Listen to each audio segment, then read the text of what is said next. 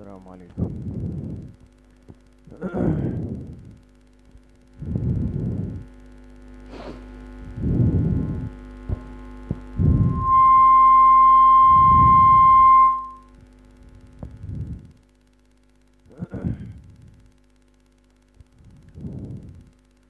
तमाम साथी कुरान करीम खोल लें।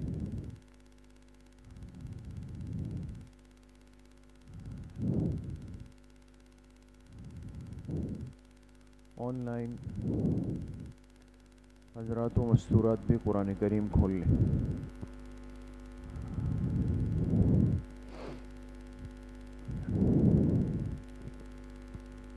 सूरतुल आदियात पढ़ी थी।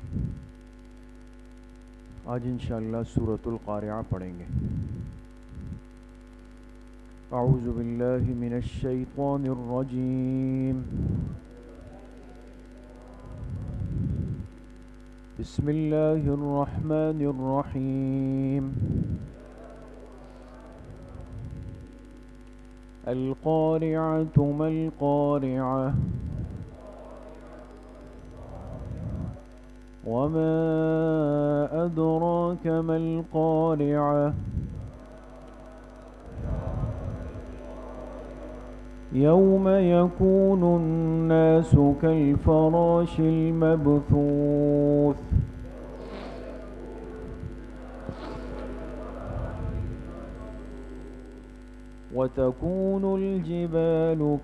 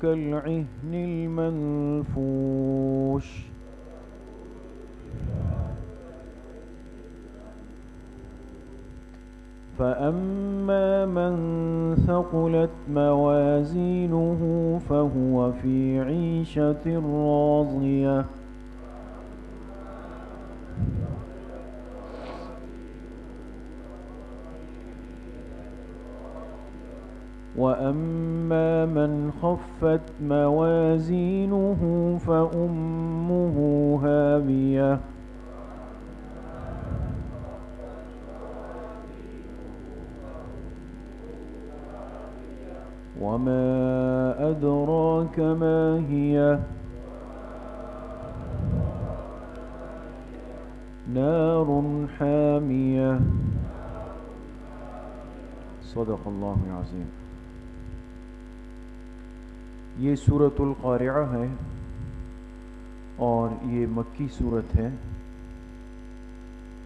पिछली सूरतों में भी जैसे हम देख रहे हैं कि अल्लाह पाक क़यामत के और आखिरत के और मरने के बाद के अहवाल को बयान फरमा रहे इस सूरत में भी तकरीबन उन्हीं मजामी से मिलता जुलता मजमून है। पहले इस सूरत का तर्जुमा हम पढ़ेंगे, वजह तस्मिया, मौजू और फिर खुलासा। तर्जमा और से सुन भी लें और महफूज भी कर लें।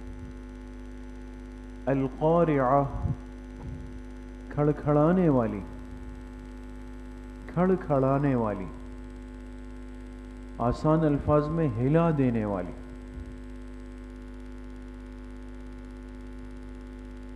खड़खड़ाने वाली। मल खड़खड़ाने वाली क्या है?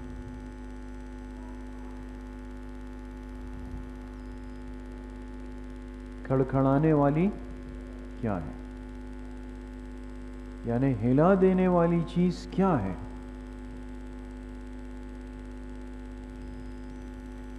वमा अदरा कमल क़ारिआ और आपको क्या मालूम? और आपको क्या मालूम कि खड़खड़ाने वाली क्या है?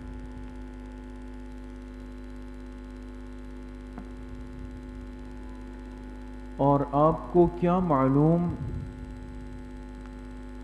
कि खड़खड़ाने वाली क्या है? तो आप गौर करें, क़ारिआ का ज़िक्र कितनी मरतबा आया? तीन मरतबा आया। पहले सिर्फ़ उसका ज़िक्र किया, फिर उसके बारे में एक इस्तिफामी बात की कि क्या है, क्या चीज़ है? और फिर इंसान को मुखातब करके कि तुम्हें क्या पता है कि वो खड़खड़ाने वाली चीज़ क्या है। समझ गए? तो इससे मुराद तो क़्यामत का दिन है, इसलिए कि उसका वाक़ होना इंसान को बिल्कुल हिला देगा। यौम यकून नासु कल फराशिल मबसूस। जिस दिन इंसान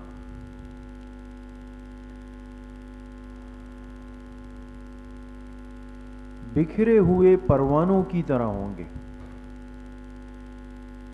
जिस दिन इंसान बिखरे हुए, यानी फैले हुए, मुंतशिर, बिखरे हुए परवानों की तरह होंगे। बारिश में जो निकलते हैं ना, जो कीड़े उनकी तरह होंगे, बिखरे हुए परवानों की तरह होंगे।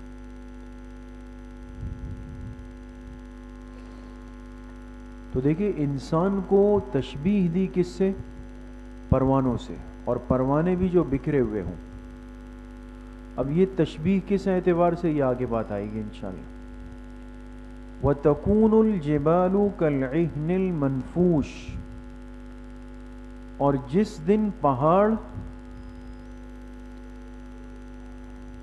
जिस दिन पहाड़ धुनी हुई धुनी हुई, दाल, हा, दो चश्मी, हा, नून, या, धुनी हुई धुनी हुई, रंगीन ऊन की तरह होंगे। धुनी हुई, रंगीन ऊन की तरह होंगे। ऊन जानते हैं ना, ऊन, जैसे एक एक रुई होती है और एक ऊन होती है। और रुई हो या ऊन हो, इसको नरम करने के लिए कूटा जाता है, मारा जाता है। इसको धुनना कहते हैं इस अमल को। तो ये बड़े बड़े पहाड़ जो आज खड़े हुए नज़र आ रहे हैं, क़यामत में इनकी हैसियत ऐसी होगी जैसे धुनी हुई ऊन होती है। समझ? फ़अम्मा मन सकुलत मवाजीन हो बस जिसके अमाल भारी होंगे, बस जिसके अमाल, मवाजीन का एक तर्जुमा है आमाल और ऐश डालकर लिखे दूसरा तर्जुमा, पलड़े। पलड़े जानते हैं ना? तराजू के दो पलड़े होते हैं। एक में सामान रखते हैं, एक में बट्टे रख देते हैं। बस जिसके आमाल या पलड़े भारी होंगे, फहुआ फ़ी राजिया। तो ये शख्स एक पसंदीदा ऐश में होगा। एक पसंदीदा। राजिया का तर्जुमा है पसंदीदा। तो ये शख्स एक पसंदीदा ऐश में होगा दूसरा तर्जुमा राजिया का है खुश कर देने वाली। ये शख्स खुश कर देने वाली ऐश में होगा।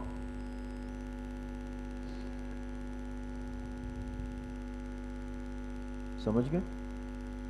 एक तर्जुमा है, पसंदीदा ऐश में होगा या खुश कर देने वाली ऐश में होगा। व अम्मा मन खफ़त मवाजीन और जिसके अमाल, यहाँ भी मवाजीन के दो तर्जुमे एक तर्जुमा क्या है? अमाल, और दूसरा तर्जुमा पलड़े। दोनों जगह मवाजीन के यही दोनों तर्जुमे और जिसके अमाल या पलड़े खफ़त हल्के होंगे।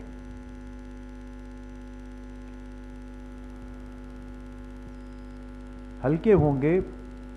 फ़ुम्मुहू हाविया तो उसका ठिकाना हाविया होगा।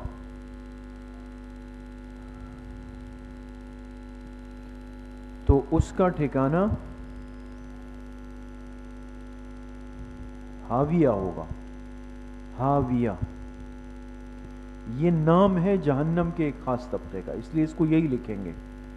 उसका ठिकाना हाविया होगा। वमा अदरा का माहिया और तुम्हें क्या मालूम कि वो हाविया क्या है?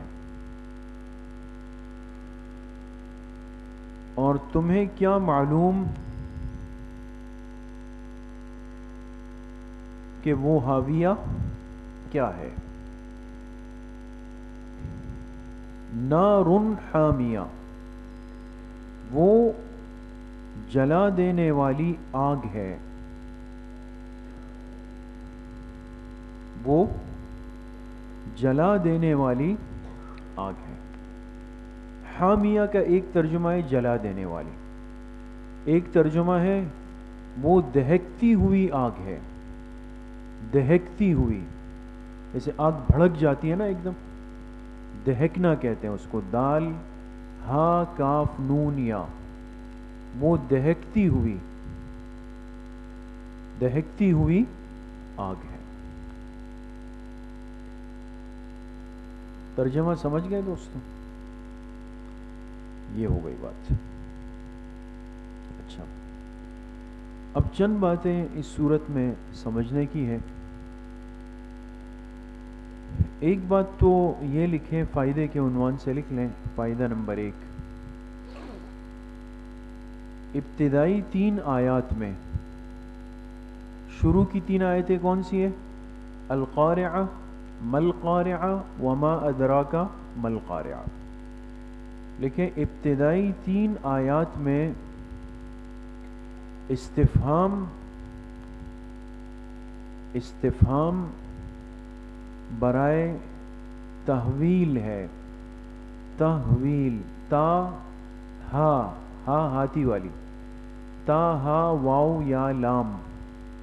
इस्तिफाम बराए तहवील है। तहवील किसको कहते हैं? हौलनाकी को। किसी चीज़ की हौलनाकी और खौफनाक होने को बयान किया जाए। इसको अरबी में तहवील कहते हैं, तहवील। और ये बात पहले अर्ज़ की थी, अगर आपको याद हो, कि अरबी ज़बान में इस्तेफ़ाम, यानी एक सवालिया अंदाज जो होता है ना, इस्तेफ़ाम के माने सवालिया अंदाज। ये इस्तेफ़ाम मुख्तलिफ़ मानी के लिए आता है। कभी ये किसी की अजमत के लिए भी आता है, बड़ाई के लिए भी आता है। और कभी कभी किसी चीज़ के खौफनाक होने को बताने के लिए भी आता है।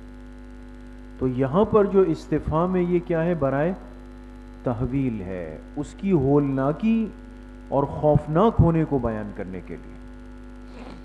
समझिए एक बात।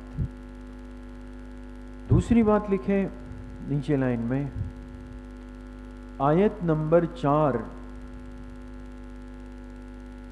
आयत नंबर चार।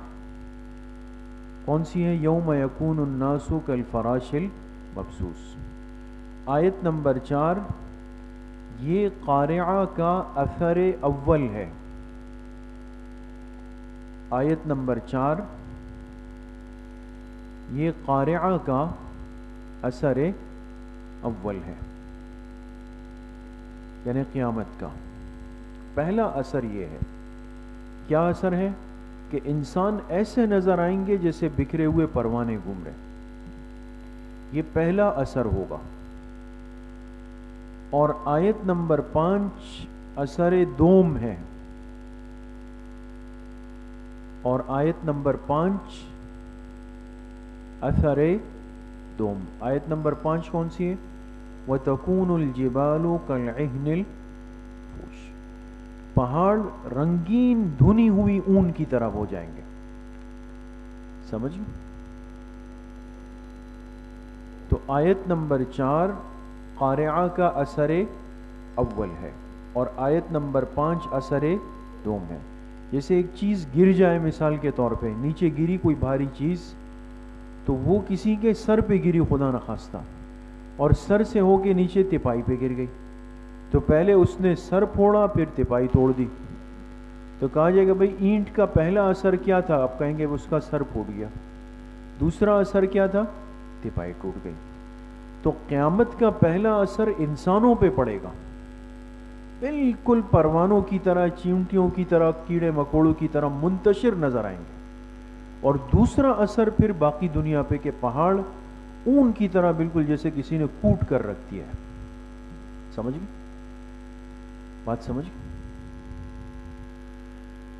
अगली बात लिखे नीचे लाइन में। आयत नंबर छ आयत नंबर छ आयत नंबर छ क्या है? फ़अम्मा मन सकुलत मवाजीन हो आयत नंबर छ में अंजाम मुत्तकीन है। आयत नंबर छ में अंजाम मुत्तकीन मुत्तकीन जिनके अमाल भारी होंगे। और आयत नंबर आठ में अंजाम मुजरिमीन है। समझ गए दोस्तों? आयत नंबर छह में अंजाम मुत्तकीन और आयत नंबर आठ में अंजाम मुजरिमीन है। ये बात हो गई? खत्म। एक बात अब रह गई कि अल्लाह पाक ने इंसान को तशबीह दी किस चीज़ से? परवानों से। कि उस दिन इंसान ऐसे नज़र आएगा जैसे परवाने होते हैं। तो अब देखें, हम अपनी ज़बान में जब किसी चीज़ को तशबीह देते हैं, कि एक आदमी भाग रहा है, दौड़ के अभी क्या पागलों की तरह भाग रहे हो? है ना? इसलिए कि क्यों पागल कहा इसको कि पागल को एहसास नहीं, इसको भी एहसास नहीं। इंसान को अल्लाह पाक ने परवानों की तरह क्यों कहा? यह बात है, ये लिखें। लिखें फ़ायदा। परवानों से तशबी परवानों से तशबी कसरत में, कसरत जानते हैं ना? जिस तरह बारिश ख़त्म होती है और हर जगह पे ये पड़े हुए होते हैं, है ना? तो इंसान बेशुमार लातादाद नज़र आएँगे। परवानों से तशबीह कसरत में ज़ुफ़ में ज़ुफ़ ज़ाद से ज़ुफ़ कहते हैं कमज़ोरी को। परवाना कमज़ोर सा है, हकीर सा ना? ज़ुफ़ में और बेचैनी में है। और कितनी चीज़ें हो गई? तीन चीज़ें। कसरत में ज़ौफ़ में और बेचैनी में। ये याद रखने की बात। आगे वजह तस्मिया क्या है इस सूरत की? अलक़ारिआ इसकी पहली ही आयत में लफ्ज़ क़ारिआ आया है। इस सूरत का नाम क़ारिआ है। मौजू क्या है इस सूरत का? आप भी बता सकते हैं। थोड़ा सा दिमाग पे ज़ोर दे। क्या बुनियादी मौजू क्या है इस सूरत का? अहवाल क़्यामत। अहवाल क़्यामत।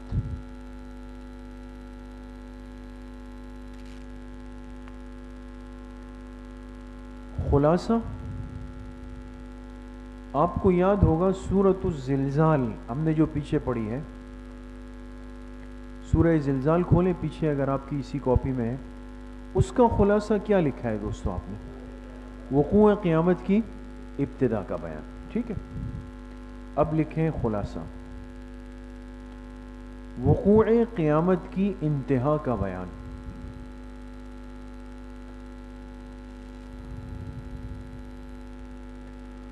वकू क़यामत की इंतहा का बयान। ये इस वाक़ क़्यामत के इंतहाई अहवाल है। इसके बाद तो मामला शुरू हो जाएँगे। जहन्नम और जन्नत में लोगों को भेजने का अमल सब कुछ शुरू हो जाएगा। समझ में आ गई बात दोस्तों? ठीक है तो ये सूरतुल क़ारिआ है।